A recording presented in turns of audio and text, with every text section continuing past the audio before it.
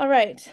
So, welcome, Michael. Thank you so much for joining us. Um, author of three, four books. Is that correct? One is coming out uh, in like next year. So, yeah, four books technically, but three that are available. Three are available. Okay, very good. Yeah. And Yeah. you live in the west coast of Canada. You live in Vancouver? I live in Victoria, actually, which is sort of on an island just off the coast of Vancouver. Yeah, so we did like a little thing about like where everybody's calling in from. So lots of Okay. Canadians actually, but um, Orlando, Florida, um, Tulsa, Oklahoma, Ottawa, Toronto, Waterloo, Calgary, Saskatoon. Uh, Joe just met you actually at a workshop. Okay, great. In Saskatoon. Yeah, I was just in Saskatoon this weekend. Yeah, so she posted a photo of um you and her on the uh on our like group board. Very cool. All right. So I have tons of questions, but um, I do open it up to the floor. If anybody wants to ask their question live, they're more than welcome. Um, and if you want to pop your question into the chat window, then please feel free, and I'll make sure that it does get asked.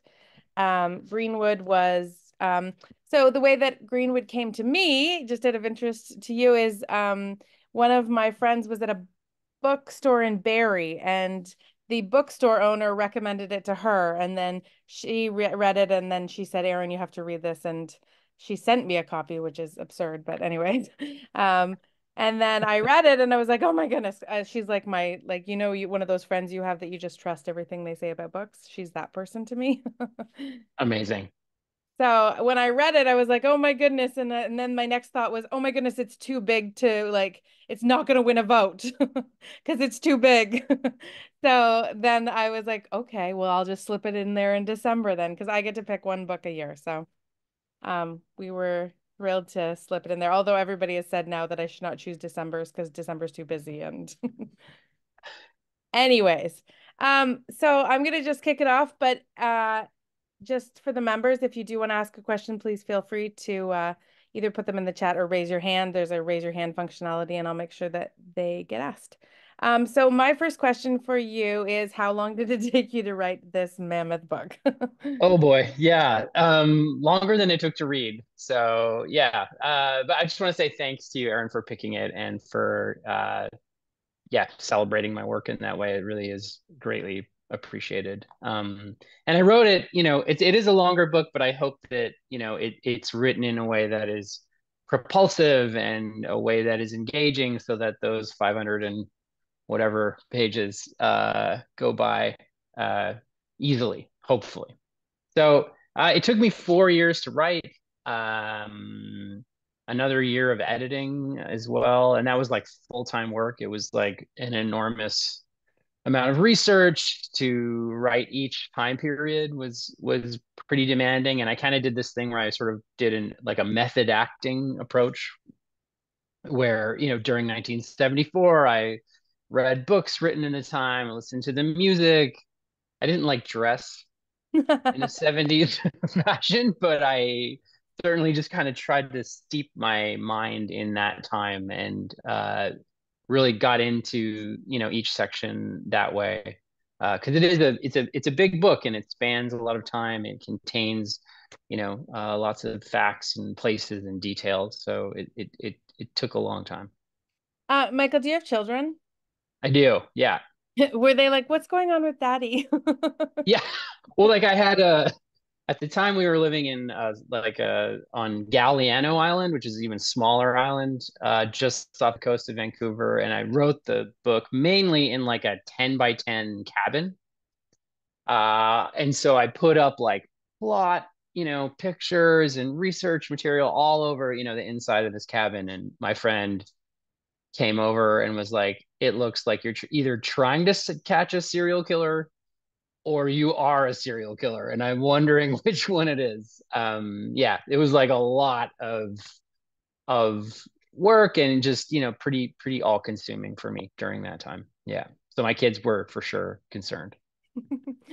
Um, the thought of like this little island off of Victoria Island, like obviously leads way to um the story and where where the where the book starts off with uh Jake.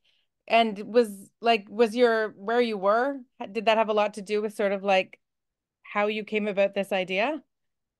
absolutely yeah i mean just you know this is an island that is full of gigantic, towering, beautiful trees, you know, Douglas fir and re- Western red cedar. And uh, so I was, you know, walking in those trees every day and just being amazed by their presence, but also um, on the island, there uh, many of the cedars are uh, dying, and these are trees that are, you know, over 100 years old have been used by indigenous cultures forever, you know, for various things, and they're just gorgeous living things. And a lot of them are browning and withering now uh, because of repeated drought stress. Um, and so the, you know, I'm often asked. I was actually asked to go to like a sci-fi writing uh, convention, and and I kind of turned I turned it down because I was like, this is not sci-fi. Unfortunately, this is the climate crisis, and this is, you know, I've used some imagination here, but I'm just carrying things forward a little bit in the direction that things are, seem to be going, and that is, you know, trees are are suffering uh, because the climate is changing so drastically. So it's very much written from a place, uh, uh, from that place, and that place I was living. I was actually reading it when I was on Bowen Island, just off. Of okay. Perfect place. Yeah. yeah. So I was. Uh, we had a host retreat there, and I was like in the perfect setting for it. so. Yeah, and I mean anywhere too. I mean, it's I've been fascinated. Like it's been published all over the world now, and you know, it's just it's astonishing to see the way readers connect with the descriptions of forests and the tree mythology and the metaphor of the family um, you know, that's been really surprising for me to see not only folks who are on these forested islands in Canada, but just everybody all over. Just uh, there's a, there's this real deep connection between the human being and the tree, and that was what I was aiming for. Um. So, again, everybody, if you want to ask a question live, please feel free, or just put it in the chat window. But um, so you wrote um, Beggar's Garden and If I Fall, If I Die. Those are both very, very different books, um, but they also are award winners. Um, then Greenwood went on to win even more awards. I would like to know um, how does a writer continue on that sort of trajectory? Um, and if this is like a lot of like, there's so much pressure on you already. Like, does this just add to it? Yeah. Well, I mean, you just have to decide that you want to win awards and then just do it. No, just no. It's uh, I mean, I've been very lucky, and there you're right. There, all three books are quite different. Though I, you know, do recognize lots of you know commonality uh, between them all, and um, you know, I've really just kind of guided myself by my own interests and my own sense of what I'm interested in, and you know, hoping in the hopes that the reader will share that interest with me. My second book was very autobiographical. If I fall, if I die. Um, my mom, growing up, was agoraphobic and uh, didn't leave the house for years at a time. Um, and so I kind of fictionalized that relationship for that novel, uh, though drew upon my life to a great degree. And then after I finished that book, I was like, I am never doing that again. I'm not going to write about my life at all and I wrote Greenwood and uh, have since realized that there's all kinds of um, uh, personal and emotionally charged stuff in there for me. So it's it's I think I just kind of go towards the places that interest me or feel like they're emotionally resonant for me, and then and end up with the book that I end up with. Um, but I do try to ignore the pressure. Um, and yeah, and we're turning Greenwood into a TV series like right now. And so uh, that's been an exciting process. And I'm very much trying to just keep uh, grounded uh, during that as well. So that's amazing. Um, and do you, mm-hmm. and like we've heard from lots of um, authors um, on that experience of whether it's a movie or a TV show, but um, do you have any say? Do you get to, is it just kind of all above you and they just like to see what you think or I mean, so far I have say it's been a great experience okay. thus far. I'm working with a producer who's done incredible stuff in the past. Uh, and I am an executive producer on the project, and I've been collaborating and contributing to uh, you know how things are evolving. And so far, I'm just delighted with with the direction that it's taking. It's going to be like a 10 episode Amazing. limited series. It's a big book, and we've all seen good books turned into terrible featured films. So this this new series format is just so wonderful in terms of just how much narrative you can contain. And so so far, uh, so good. Oh, that's so exciting. Yeah. And to know that it gets to reach more more viewers, right? Absolutely. Yeah, it's it's great fun and I'm a big fan of, you know, good TV as well and certainly literary adaptations are being done better, I think, more and more. Uh so yeah, I'm just really excited to to see it on the screen. And you know, like casting Yeah. people is just such fun and has been really, really uh just a wild experience. Yeah, that's so cool. Mhm. Um, okay, the ladies would like to get into characters. So, Okay. um, Mandeep has a question. She said, which character first uh, came to mind? Which was the first one that was fully fleshed and perhaps at the center of your web? Yeah, that's a really great question, Mandy. Thank you. And I mean, I I began the book kind of writing about a number of characters.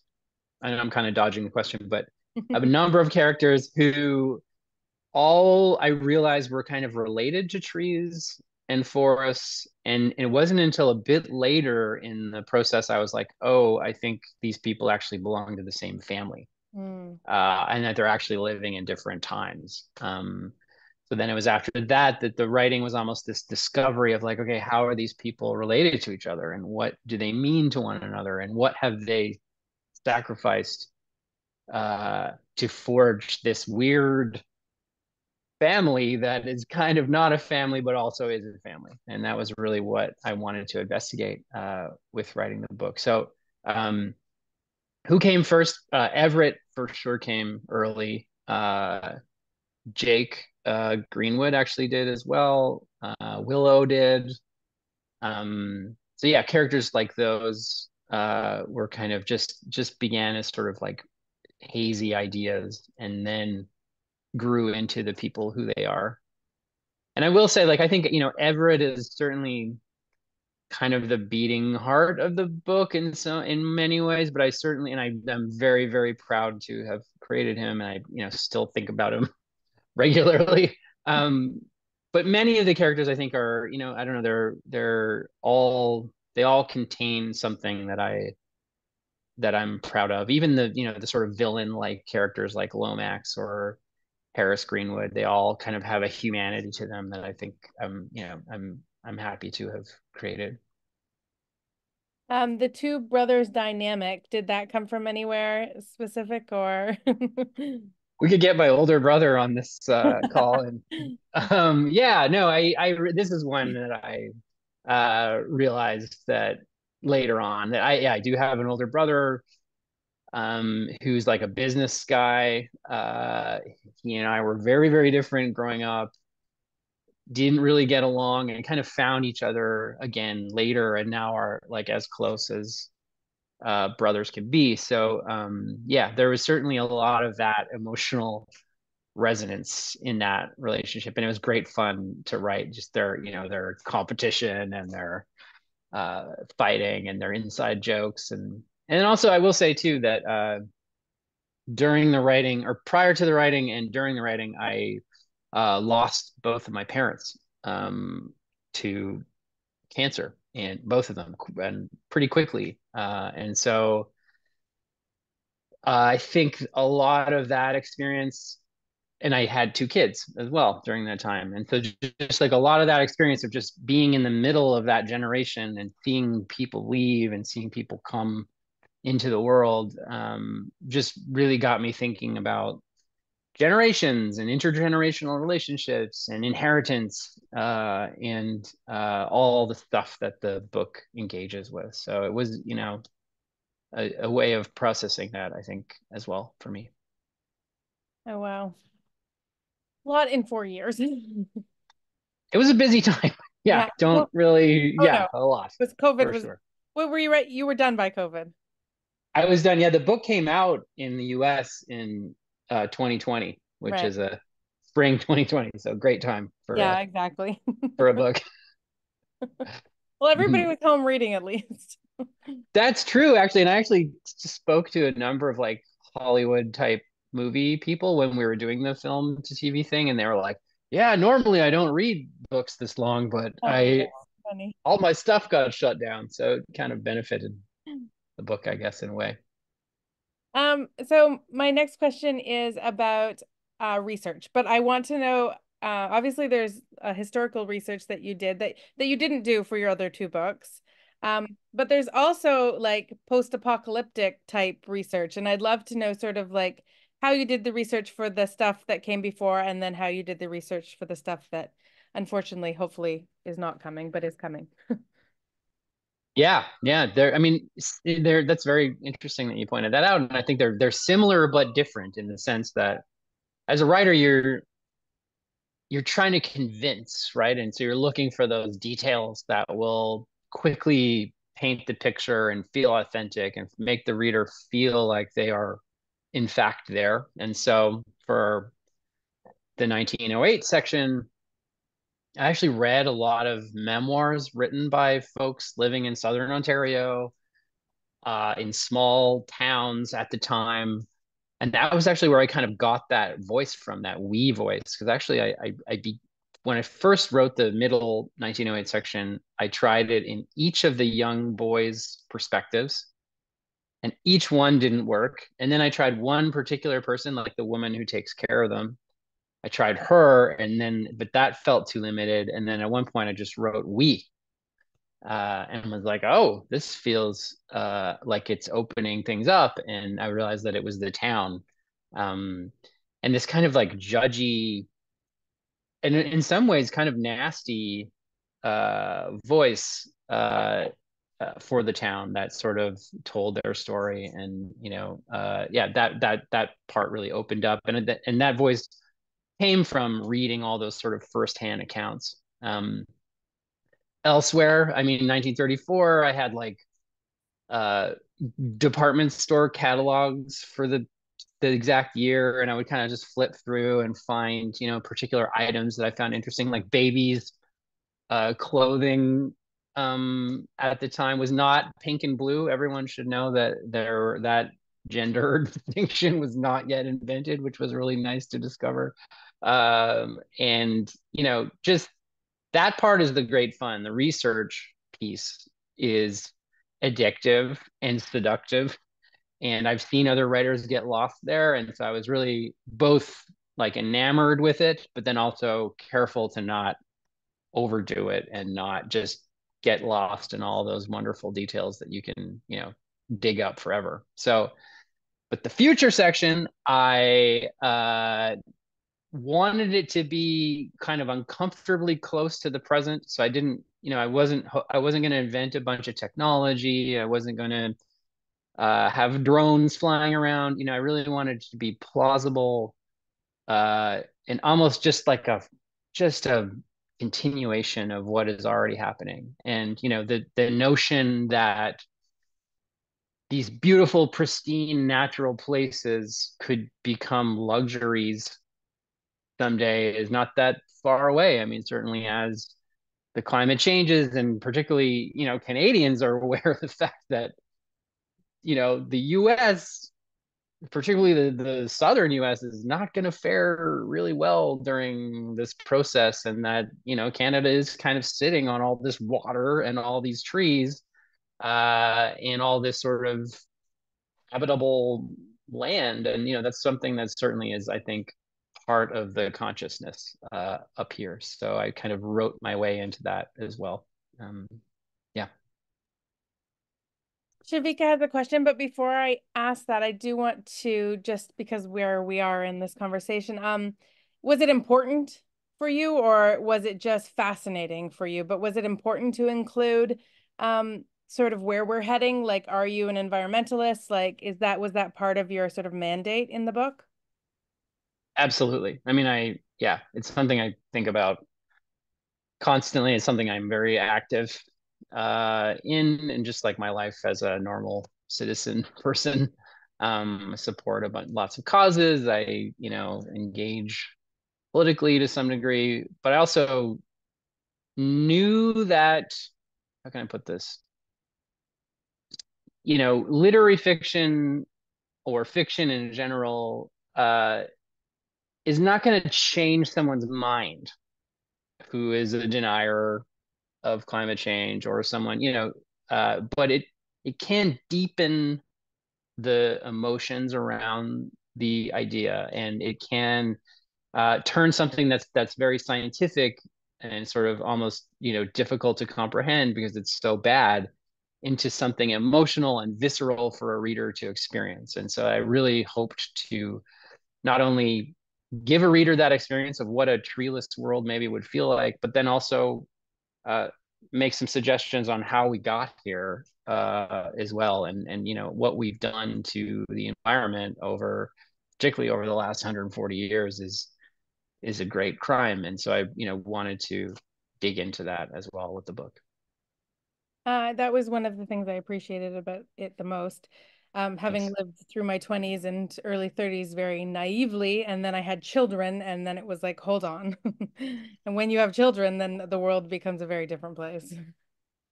Absolutely, yeah, and just you know, and seeing these changes take place now, you know, and seeing you know these great shifts that are happening, and realizing how fragile our climate and ecosystems actually are. Uh, you're very right, and now that consciousness elevated for me as well as the moment I had children too.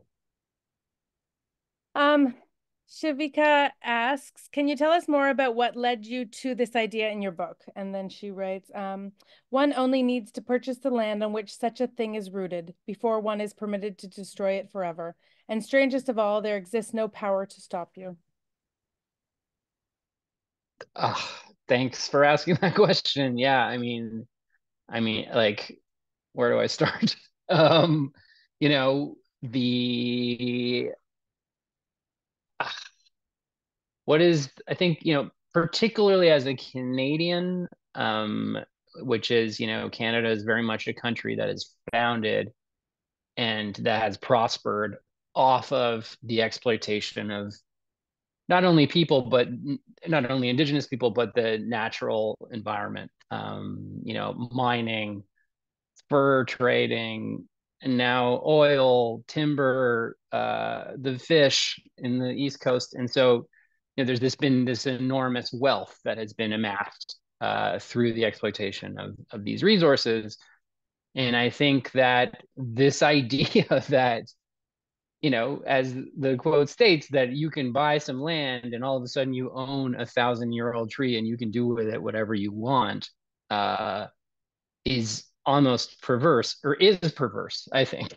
And um, I really do believe that we have to come t- towards, move towards a deeper conception of uh, ownership and and our responsibilities uh, uh, with respect to the natural world. Um, and so, yeah, that that was. I think it, I think it's it's Willow who has this sort of passing realization um, but uh, that's certainly something that that baffles me constantly how how we're allowed to pollute rivers and how you know we how much we disrespect this perfect wonderful ecosystem that has allowed us to thrive for so long. It's just it's just it's it's astonishing. Thank you. Thank you for your question uh, tree communication. That was something that kind of resonated a lot with me, and you got into it a little bit. And I was reading an interview with you, and it sounds like it's something that you're that you stumbled upon and found very interesting. Super nerdy, another really nerdy tree subject for me. But yeah, no, there's a researcher at uh, UBC, whose name is Dr. Suzanne Simard, and who actually was a sort of model for one of Richard Powers' characters in his book, The Overstory. Um, and she was someone who did this pioneering research and was discredited for years and years by uh, the scientific community, and her work was sort of dismissed as, you know, kind of woo woo uh, until people came around and have realized that trees do, in fact, not only communicate with one another, uh, but also share resources. Um, you know, donate when a tree dies. It you know donates its uh, its its nutrients and its chemical weapons to its community uh, to be absorbed, to be reabsorbed by uh, the trees that it's lived amongst for for all those years. So I mean, you know, it's it's not only just completely fascinating to me, but it also I think it's indicative of the fact that the world is so much more complicated uh, than we give it credit for. And we find this again and again. And I'm sure there are hundreds of more of these ways that the world functions or the ecosystem functions uh, in these subtle, beautiful ways that we have yet to discover. And I think that's one of the great tragedies of you know cutting down the amazon rainforest or you know altering the climate is that we're never going to get to figure these things out uh, if we if we uh, destroy these these ecosystems. So yeah, it's uh, that that part of the research was was great fun, and I still do a lot of reading around um, tree related stuff, even though my new book doesn't really center on trees so much. Um, I do want to ask you about what you're working on next, but before I do that, um, mm-hmm. I just wanted to know that perhaps you've already answered this, but uh, favorite character to write. Um, I know Everett is obviously close to your heart, but was there anybody else that stood out? There, I've done a lot of events uh, related to this book, and you know, I've I've really I've been fascinated by how much how divisive Willow Greenwood is and Harris, uh, and there are people and Lomax too, and there are people who, you know, just detest Willow. Uh, as well as as well as Lomax. And I and I find that, you know, I feel like I've maybe done my job with those characters in the sense that they are complicated, you know, and Willow is a person who whose environmental ideology has kind of, you know, uh, superseded her uh, even duty to being a parent, which is something that is very, especially for me too. I mean, it's a hard one to swallow. Um, but at the same time, you know, I did I I interviewed folks who started Greenpeace and you know who were really involved in the the burgeoning environmental movement. And a lot of the time people do do stuff like that when they're focused on a cause or when they're, you know, almost like a a true believer. And so, you know, I but I will say here, there's one more anecdote. I when Harris Greenwood is interviewing people for the role of his describer, and I was writing that uh, scene, I didn't know who's going to walk in the door. Uh, and I it was one of those days where I just started going, and I was like, "Who's this guy?" And you know, Harris is a person uh, who doesn't have sight, and so uh, I was kind of in his position, just sort of discovering this this man uh, who came to be Liam Feeney. And so uh, I think the the scenes where Liam is describing the world to Harris and just their relationship and the beauty of of, of that, I th- those were all a very just sheer discovery for me, and that was maybe one of my favorite moments writing the book. Uh, sorry, that leads me to to wonder it's it, it feels like you, they they call them pantsers and plotters um, and i think our members know what that means but whether you plan out your book beforehand or if you just or you sit down and you write and it comes to you as you write do you do both then? I do do both yeah yeah i kind of i pants for a while then i plot and then i fix. More i just i'm a fixer. I have like i I make a gigantic mess and then just try to make it all make sense is generally what I do. Maybe there should be a third, like a like a mess maker. I'm not sure. Um, but yeah, it's I, I, I find that I, I've tried to plot everything out and plan, uh, but it never goes accordingly. And then I've tried the other way to just totally wing it. and that doesn't work for me either. So I kind of I flip between those two uh, modes. And do you write one time, like frame at a at a time, or are you just going back and forth all the time? I was jumping around early, like when I didn't know where the characters were, and I didn't have that like ring structure that the book eventually assumed. Uh, actually, pretty early, I had that like sense of, oh, right, these are rings of narratives. We're going into the tree. I had that metaphor, and that was things got kinder to me after I got that. Uh, but after that, I started to do that sort of more kind of uh, method acting thing where I was just in the time and actually had all the sections together because uh, there's two pieces of each, right? And I would write my way through it, and then I would sort of find a place to chop them in half, and then uh, oh, okay, and then put them into the narrative. So yeah. So yes, what are you working on now? uh, now I am uh, working on the Greenwood series, and uh, I'm also writing another TV series with a really great uh, author who's from the US, who I'm really, really excited about uh, to be working on something with. And we're doing that. Uh, and but then I also have a new novel that has uh, found a publisher, and we're just editing it uh, now. And it's um, about a small island uh, off the coast of BC, another one that I've invented actually, and um, it's the story of a uh, people who go there to stay at an Airbnb, and a young woman goes missing, uh, and then it kind of dives into the history of the island and drags up uh, all these secrets uh, as everyone is kind of searching for her. Um, is this a is this a psychological thriller? It sounds like it, and actually, it kind of has this thriller structure, but it's very much character driven and it's not your it's not the missing girl in the woods book that you're expecting and i'm almost kind of like in the way that i sort of messed with the family saga formula yeah. with greenwood. I'm kind of doing that for all those books there where the girl goes missing in the woods and everybody freaks out. Uh, it's it's a sort of investigation and a reimagining of what that means and uh, the consequences of that. Uh, is it big or do perhaps you don't know yet? It's smaller. No it's, it's shorter. Yeah yeah. It's like 300 i think i mean this is the editing process yeah. so who knows but uh, yeah it's not as epic Oh wow, yeah. that sounds fascinating. And um, you kind of segued there and quite nicely in in that you said it's found a publisher. Is it being published by those who published Greenwood? Mm-hmm. Yeah. Mm-hmm. Yep, same folks.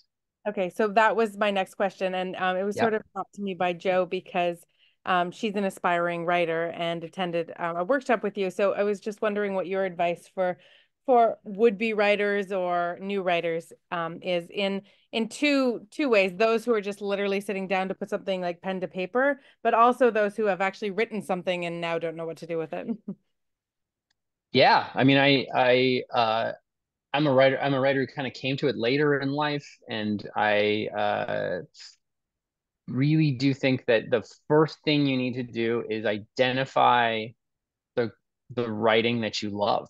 And you know as a like, really develop yourself as a reader and figure out what really really speaks to you. Um, um, and i'm certainly not a genre snob. I think that can mm-hmm. wherever that is wherever you know whether it's literary fiction whether it's thrillers whether it's horror fiction you know there's all these categories now which i think is great. Uh, you know identify what it is that truly moves you um, and start to read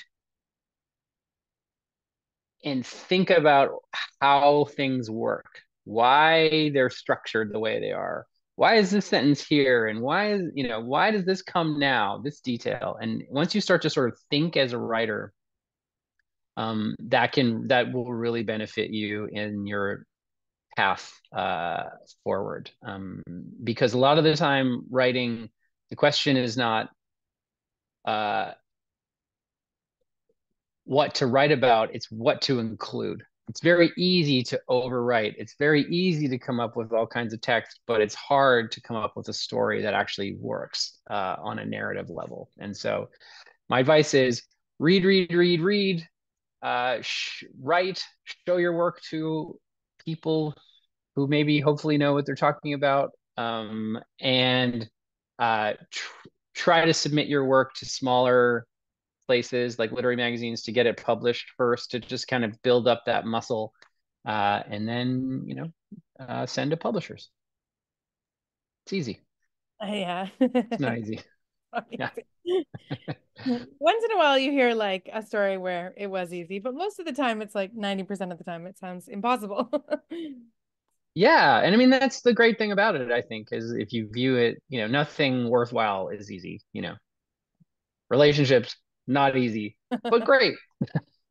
so uh, we have uh, I have a very large family, and at Christmas I bought them all copies of Greenwood, and we're holding our first family book club at the end of February. So um, I will get a lot of flack if they don't love it, but I'm not worried at all.